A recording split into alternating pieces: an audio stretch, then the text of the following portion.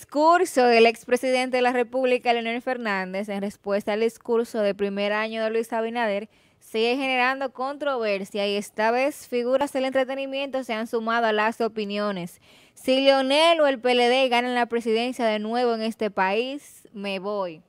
Así de radical se ha mostrado Raeldo López a través de sus redes sociales ante la posibilidad de un retorno al gobierno del expresidente Leonel Fernández o el Partido de la Liberación Dominicana, PLD, quienes han gobernado el país desde por más de dos décadas.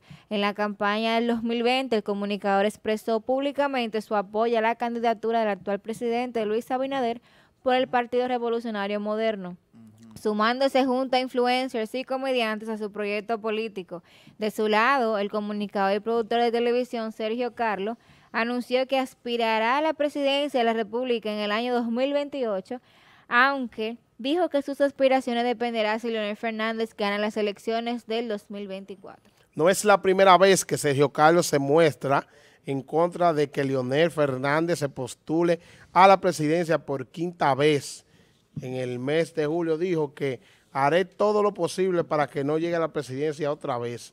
Escribió en respuesta a un seguidor del exmandatario que aseguraba que este sería el próximo inquilino del Palacio Nacional. Señor, eh, Dios nos libre a nosotros eso de nuevo. No. Eh, Dios nos libre de que Leonel Fernández sea presidente. Es mi opinión personal, no respeto la de cada quien. ¿Eh? No, yo entiendo que no. Que Pero es, como, es, como, dice eh, estos muchachos, lo mucho hasta Dios lo ve. Sí. Claro. ¿Entiendes? Ya tiene que dejar de cansar, que hay mucha gente... Yo, ¿Quién quiere coger ese chucho yo otra vez? que ya Leonel debería, debería dividirse y darle paso, por ejemplo, a su hijo, Omar Fernández. Ponte tú ahí, mijo.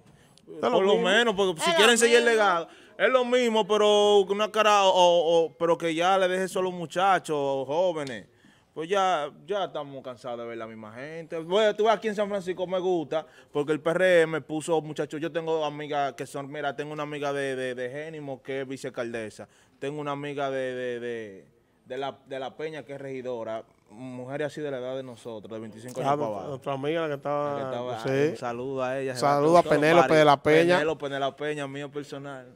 Eh. ¿Eh? Oh. Suya. Tenemos una llamada, buenas. Sí, Hello. Con nosotros. Hello. Hello. Bueno. Cuidado, Leonelita, que ya. Leonelita. Entonces tenemos que poner muchachos sí, jóvenes. Una vez, una vez me pongo yo de regidor para ir Claro. Los lo, lo gordos te apoyamos. Claro. Todo el mundo engorda contigo. No, pero mira que que, de verdad, o sea, mi, mi opinión también, yo la secundo. Leonel no debería, óyeme, yo, yo si, tu, si pudiera, me hubiese ido del país solamente porque hay gente que cree que Leonel puede ser presidente otra vez.